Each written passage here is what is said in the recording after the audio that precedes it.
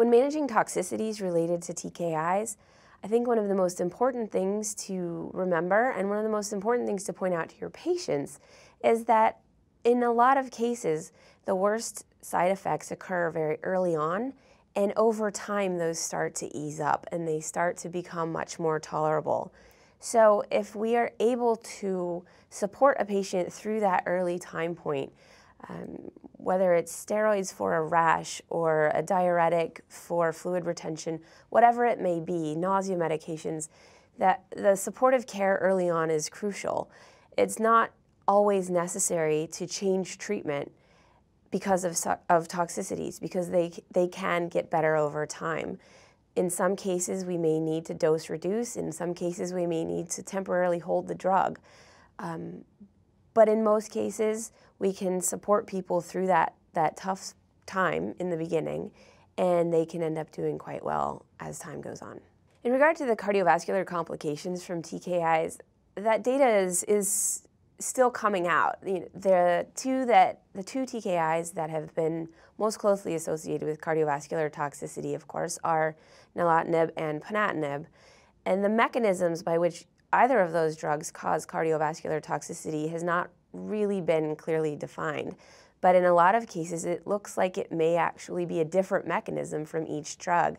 So the comprehension in regard to cardiovascular toxicity, people know that it, that it exists. Um, not everybody, not most people, don't really have great data to tell us what to do to try to mitigate that.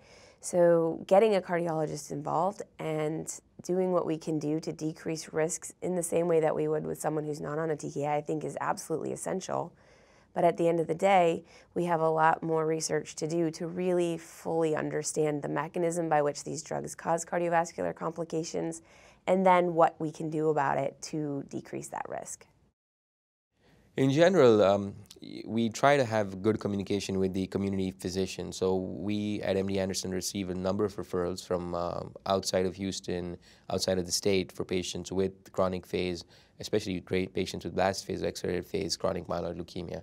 In general, our policy has been is when we see the patients initially and we start them usually on one of our frontline protocols for CML, uh, we will call or email the community physician, let him know that the patient is enrolled on a protocol.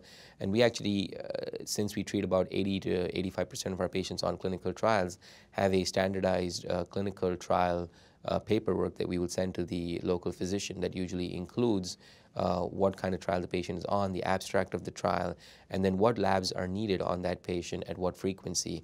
And usually those are requested to be uh, faxed to us so that we can keep it in our um, FDA binder.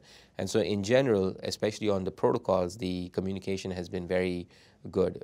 In my practice, I usually give my email or phone number to the community physicians as well so that if they have a question, they can reach me uh, quickly. But especially in chronic diseases such as CML or other diseases like myelofibrosis, polycythemia vera that we see a lot. I think it's very important uh, to make that initial communication with the community physician, either on or off trial, uh, and also to let the community physician know that we are really the consultants and we will be helping to monitor the patient from a distance, but really they are still going to be the primary doctor who the patient will be going back to, who will be the front line to deal with any emerging toxicities, and that they can reach us, but uh, that they really have ownership of the patient.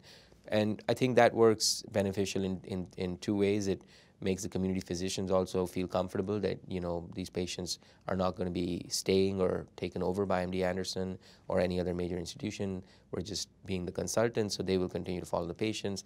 And I think it also makes uh, it easier for us because we see a lot of referrals, so we do not have the bandwidth to become the primary for these patients. So I think in chronic diseases, even more than acute leukemias, uh, it's very important to have a very good communication with these physicians.